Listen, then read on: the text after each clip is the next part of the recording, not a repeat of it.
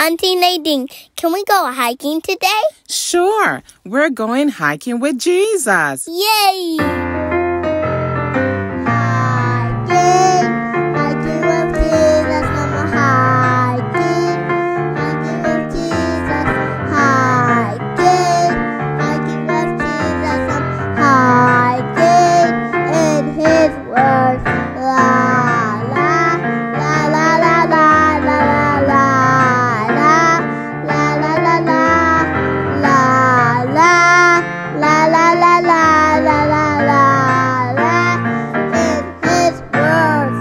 Hiking with Jesus, a primary devotional by Jim Feldbush.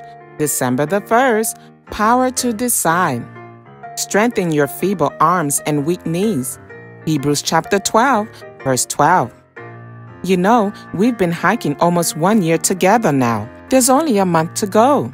You and I have done exactly what this verse says we should do. We've hiked a long way and strengthened our arms and knees. We've also strengthened our legs and our hearts and our minds. We can be so thankful that Jesus has all the spiritual strength we need. But why have we done all this exercise? Why have we spent all this time learning more about God and exercising our bodies and minds?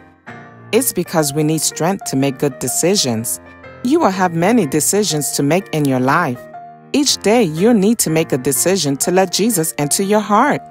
There will also be times people ask you to do things you shouldn't. You'll have to make a decision to say no. In order to make the right decisions, you will need to be strong. That's why we've done all this spiritual exercise. When you make the decision to do the right thing, something wonderful happens. Jesus gives you power to do the right thing. So stick with Jesus. He's got all the muscles you need to make the right decisions on your earthly hike. December the 1st, Power to Decide.